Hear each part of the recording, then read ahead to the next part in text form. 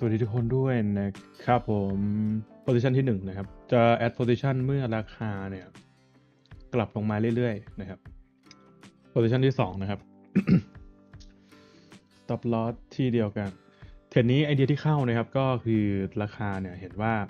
แท่งนี้เนี่ยมัน break out ลงมานะครับผมแท่งสีดำแล้วหลังจากนั้นเนี่ยจริง ๆ ราคาควรที่จะเคารพโซนตรงโซนนี้ ใช่ไหมผมเพื่อที่จะวิ่งลงต่อนะครับ แต่ว่า ท่งนี้เนี่ยแท่งสีขาวนะครับมันกลับขึ้นมาเหนือโซนด้านบนตรงนี้นะครับเพราะฉะนั้นเนี่ยถ้าว่า move ตรงเนี้ยนะครับเป็น fake out นั่นเองเนาะเพราะฉะนั้นมีสิทธิ์ที่ราคาจะวิ่งขึ้นมาถึงโซนด้านบนตรงนี้ได้นะครับก็เลยเป็นสาเหตุที่ทำให้ตัดสินใจเข้าบายเนาะส่วนในวิธีการของการเข้าบายเทรดนี้ก็ผมใช้เป็น dynamic risk นะครับคือค่อยๆ add position เข้าไปเนาะเหมือนอ่าง่ายๆ คือการซอยไม้นะครับ มันจะย้าย stop loss มาตรงนี้นะครับทุกทุกทุกคู่อ่าทุกอันเลย เพราะว่าถ้าราคาจะขึ้นต่อจริงมันต้องไม่อย่างน้อยไม่ต้องกลับมาละนะครับโอเค